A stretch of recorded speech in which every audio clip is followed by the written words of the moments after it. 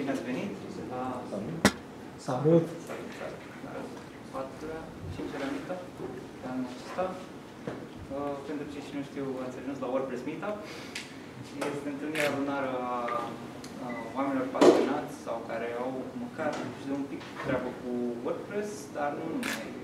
WordPress nu este doar despre uh, content management system care acum ocupă 30% din, uh, care este instalat 30% din uh, website-urile uh, active în momentul de față și uh, promovează printre altele și bune practici în web design, în securitate, în ce vreți voi și totodată se bazează foarte mult pe comunitate, ceea ce încercăm și noi să întreținem, să clădim Nu, uite, aici. doar am testat-o. Ah, ok. Nu eram conectat. Mersi.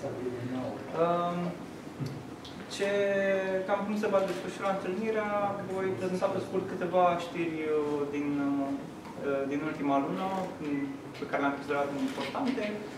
Apoi uh, vom avea un invitat uh, surpriză, Alex, care ne va ține o prezentare. Uh, și uh, la final vom avea și o sesiune de Q&A uh, și vom uh, ieși aici în hol la o felie de pizza. Uh, între timp te servi apă, niște bomboane, mm, ce vă face frumos.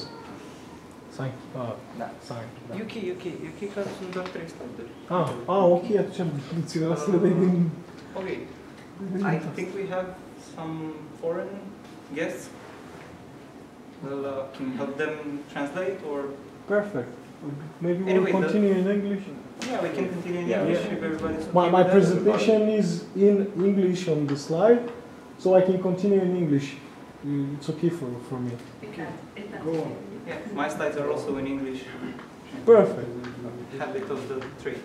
Super. Okay. Last question. So last month in, uh, in WordPress, we got a new version of an important version, 5.2. This brings uh, a lot, a lot of uh, updates and new features.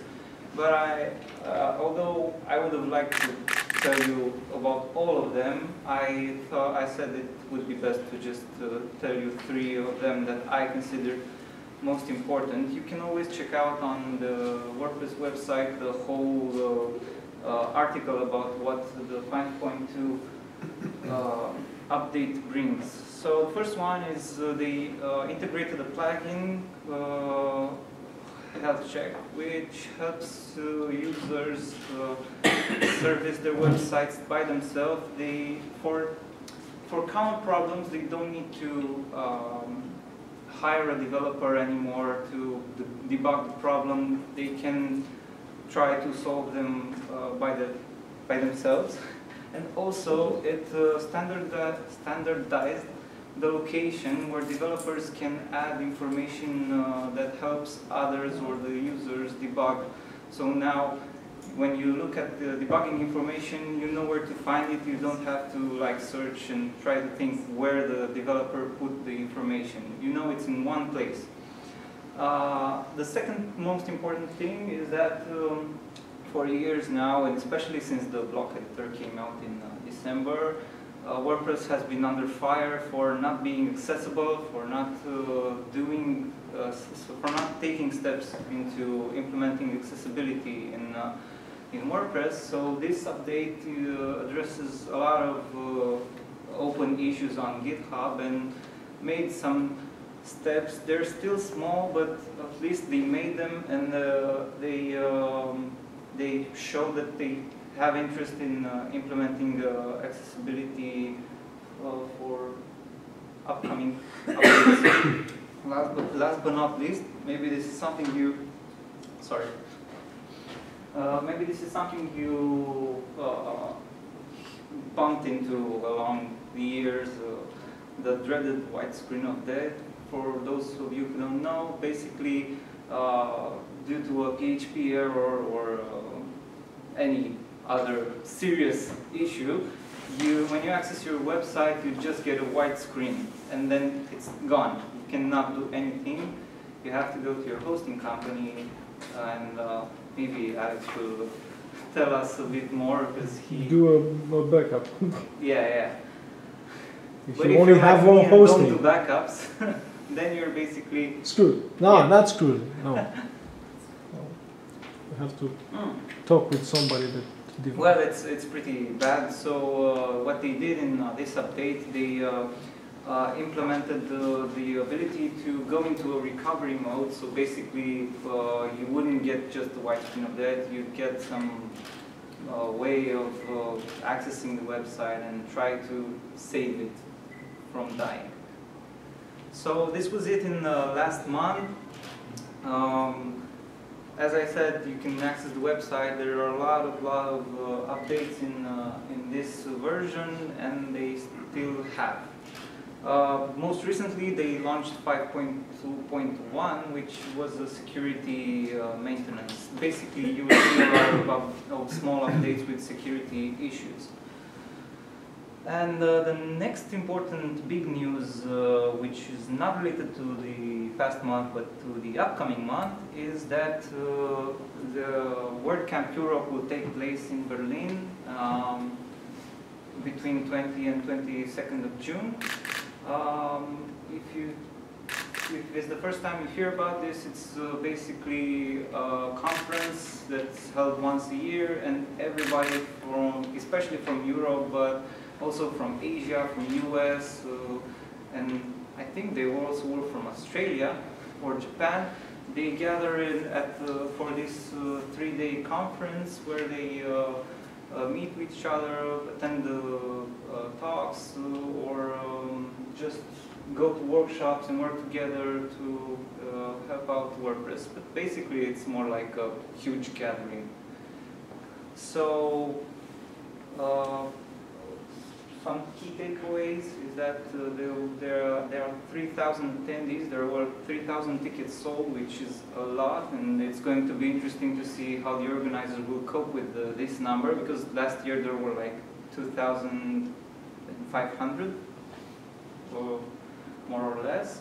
And uh, also they uh, have a very huge emphasis this year on uh, reducing uh, the waste and caring for the environment. So basically you won't see any plastics or uh, uh, disposable cutlery. Yeah, they just got banned in Europe. No, they will be banned in Yeah, in two 2021. years. Yeah, yeah, but yeah, yeah. the- They, the- they just voted the, the directive and we, we have two years to, Yeah. to implement, before we implement it. So uh, uh, if you didn't uh, catch a ticket, I'm sorry, there are no more. but you can uh, tweet uh, uh, with the hashtag uh, WCEU tickets.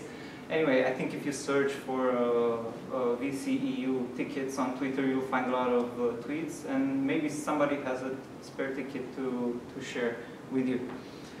Uh, also, something that the last thing about WordCamp Europe, because it, it's actually very nice, and uh, I think it's one of the main points of, of this conference is that, and uh, last night, uh, so that would be Saturday, Saturday night, uh, there's an after party, and uh, uh, it always has a, theme.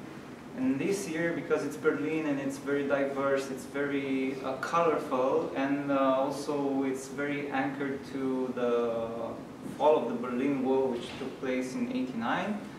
Uh, the theme will be about the 80s period, so it's going to be interesting how people will dress. You can search for, for images of uh, the last year's after party, which was uh, the space themed party and some people, especially from Yoast, had some crazy costumes, but they were really, really nice and uh, creative. Uh, so that was it for WordPress news. Uh, before we move on, I'd like to thank our sponsors because the, the, the meetup is, wouldn't be possible without them. They help us uh, um, have this room, have the refreshments, and make all of us feel comfortable and uh, welcome each month. So uh, first of all, it's the WordPress Foundation. They uh, uh, make huge efforts to grow the community, to make to make people understand WordPress is not just a simple software. It's about people. It's about community. And uh, but then they also uh, get help from uh, local or, or not. Uh, just most of the the sponsors he see here are local, but not all of them. So I'll just go through them, and you can find them also on Meetup.com. They have links. You can uh, look, uh, look them up. So it's a crowd favorite, ThemeIsle, A2 Hosting, Hotjar, and WP Writers. Uh, also, we have a team of volunteers uh, that each month we try to uh, set up the, the meetup and make you all feel welcome. So thank you all for coming. And uh, now I'd like to welcome Alex with his talk. Thank you very much. Thank you very much.